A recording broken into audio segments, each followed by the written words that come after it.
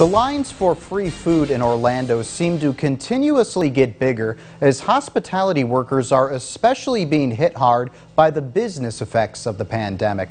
SeaWorld says many of its furloughed workers will now be permanently laid off. The theme park says the ongoing pandemic has cut too deeply into its revenue, forcing the changes.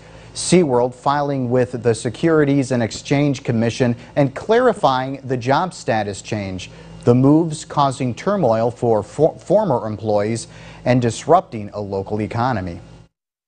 These hospitality companies like Universal and SeaWorld that made billions in the economic boom are now just kicking workers to the curb with nothing and now they're in line you know for food that they can't afford on their own.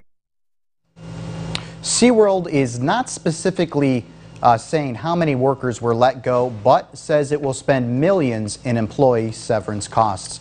As the country deals with the COVID-19 pandemic, one artist is working to bring attention to another epidemic the U.S. is dealing with, gun violence. She's doing this through art.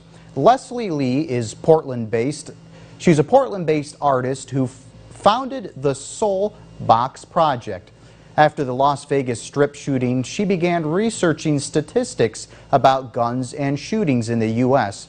She decided to depict the problem visually with origami projects she calls soul boxes. Each one represents a person killed or injured by gunfire. In order to have a response, which is, I don't want to be part of this problem. The artist plans to take the Soulbox project on the road once she's able to travel, and the plans are on hold due to the pandemic. And coming up after the break, one local fire department in need of money to pay for a new fire truck. Well, they got some support from the community today.